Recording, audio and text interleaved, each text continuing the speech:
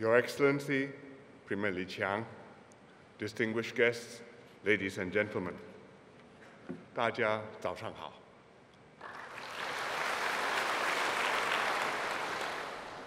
Asia is a vibrant region with enormous promise. It's home to more than half the world's population, and Asians are increasingly better educated, brimming with energy, ideas, and dynamism. China is one of the biggest economies in the world. Its consumer market is huge and expanding. Its technology is advancing rapidly, and its workforce is increasingly skilled. India, too, is developing steadily with a youthful demographic advantage. And Southeast Asia has a growing middle class and is projected collectively to become the fourth largest economy in the world by the end of the decade.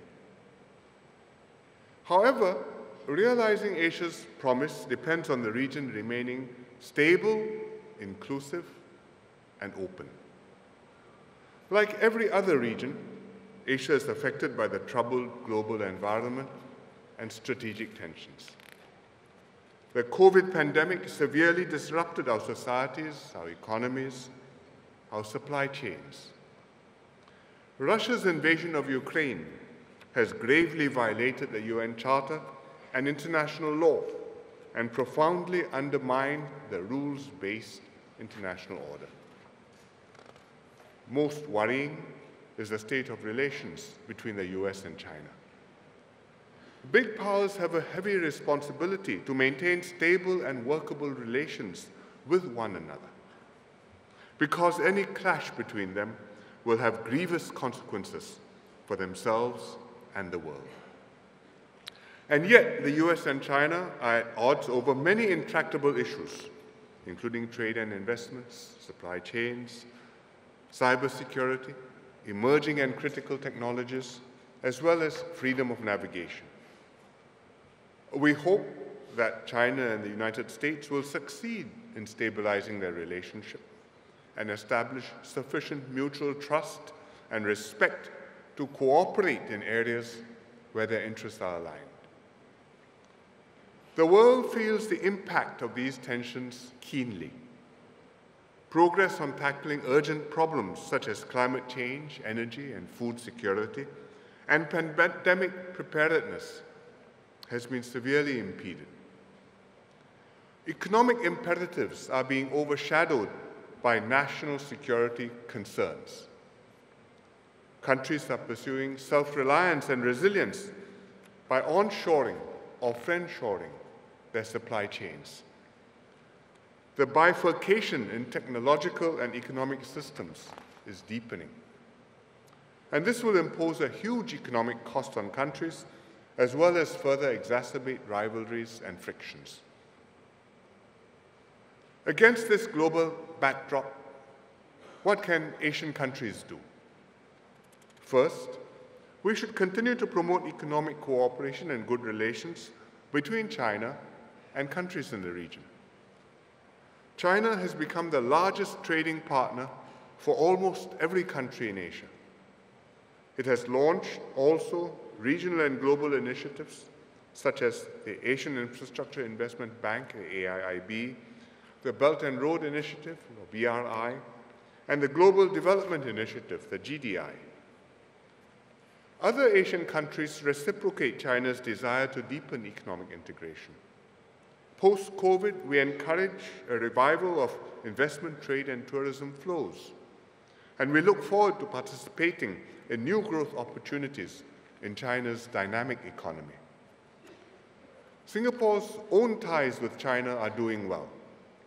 We are updating and improving the China Singapore Free Trade Agreement and raising overall relations to a higher level.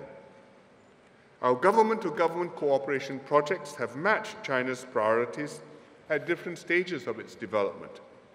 The latest project, the Chongqing Connectivity Initiative, improves connectivity between Western China and Southeast Asia, and it is part of the Belt and Road Initiative. Even during the pandemic, Singapore kept up our ties with China. Our merchandise trade expanded by 6% last year. Singapore is one of the largest foreign sources of investments in China. At the same time, more and more Chinese companies are investing in Singapore, setting up headquarters and operations here.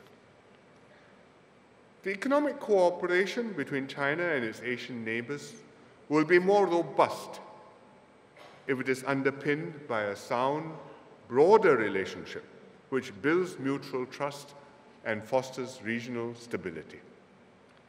There are many bilateral and regional issues that need to be resolved, and they should be managed in the spirit of goodwill and cooperation, peacefully and in accordance with international law, giving full weight to the perspectives and interests of countries big and small. From time to time, national interests will diverge and bilateral issues will arise. This is unavoidable. And when this happens, it is important that we insulate our economic relations from these difficulties and continue to do business with one another. We must strive to work together pragmatically for the benefit of our peoples, even when we may not see eye to eye on some issues.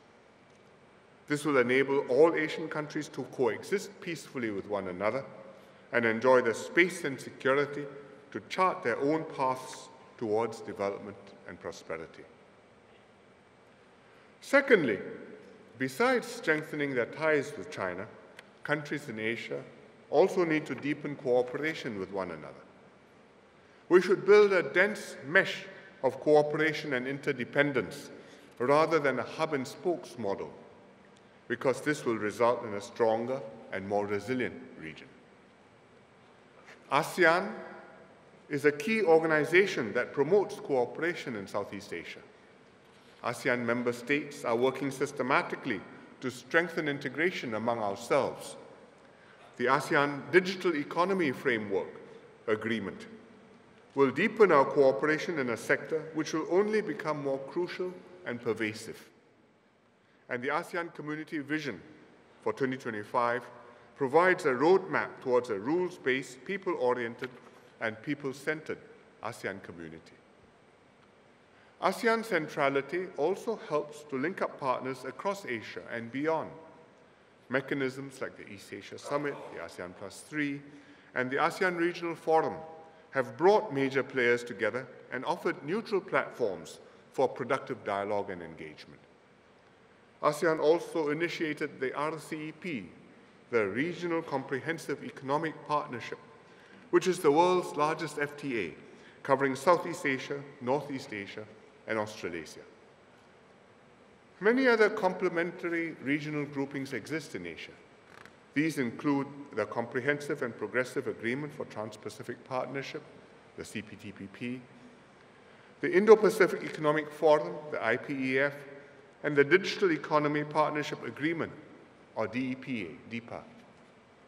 These groupings are not mutually exclusive. They have varying memberships and often overlap with one another. Not every country needs to be in every group, but collectively, the different groupings build a resilient and interlocking network of cooperation among countries in Asia. At the same time, these regional groupings deepen ties between Asia and the rest of the world, and this gives our external partners stakes in Asia's peace and prosperity. Which brings me to my third point that Asia should always remain an open region. As Asian countries develop cooperation among ourselves, we should also cultivate our relations with the US, Europe, and other parts of the world. For example, despite the tensions between China and the United States, their bilateral trade in goods hit a record high of close to $700 million last year. $700 billion last year. Other Asian countries, too, are keen to expand economic relations with other regions. Investments by European and American companies in Asia continue to grow. Asian countries are concluding FTAs with European countries and with the EU, and even with partners in Latin America. For example, Singapore has a free trade agreement with the Pacific Alliance. Strong economic ties across regions will foster greater interest among more stakeholders to engage constructively in Asia. This will encourage healthy competition, spur innovation and partnerships, moderate tensions when they arise, and make for a more stable and balanced region. Whether Asia can realize its promise will depend on how well countries in Asia maintain stable relations and cooperate practically and productively, both amongst themselves and with our external partners. As a very important economy in Asia, China has a big role to play in all of this. We welcome China's commitment to continue opening up its economy and to continue supporting multilateralism and regional cooperation. And we look forward to all parties contributing more actively to regional and global development and prosperity to benefit Asia and the world. Thank you very much.